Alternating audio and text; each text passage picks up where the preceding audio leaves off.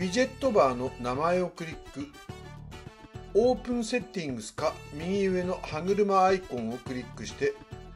クリエイトはローカルリストに名前を入力。コンティニューをクリックしてウィジェットのボタンをクリックするとランダムに名前を表示します。リメンバーがオンになっていると表示された名前はリストアップされて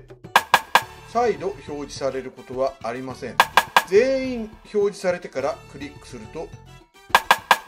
リストがリセットされます。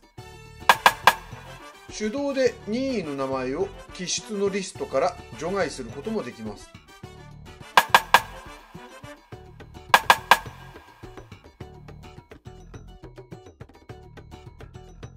リメンバーをオフにすると同じ名前が何度でも表示されます。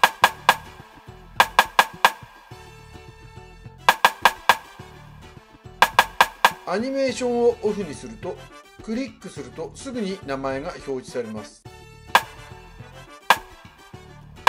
サウンドをオフにすると音がしなくなります。ローカルリストはタブを閉じると消えてしまうのでよく使うネームリストを登録しましょう。左上のホームアイコンをクリックネームリストをクリッククリエイトニューネームリストをクリックタイトルを入力して名前のリストを入力してクリエイトをクリックするとネームリストが作成されます。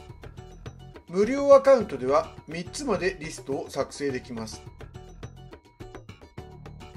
リストの縦3点リーダーをクリックしてセットアズデフォルトをクリックするとスターがつきます。左上のオープンラストスクリーンをクリックしてスクリーンに戻りウィジェットバーの名前をクリックするとスターをつけたリストの名前が表示されます。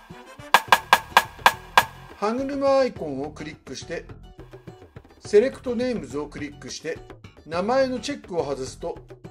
一時的にリストから名前を除外できます。ウィジェットバーの名前をクリックすると新しい名前ウィジェットを追加できます。新しいウィジェットの歯車をクリック。チョーズリストをクリック。リストの名前をクリックすると別のリストに切り替えることができます。超絶簡単です。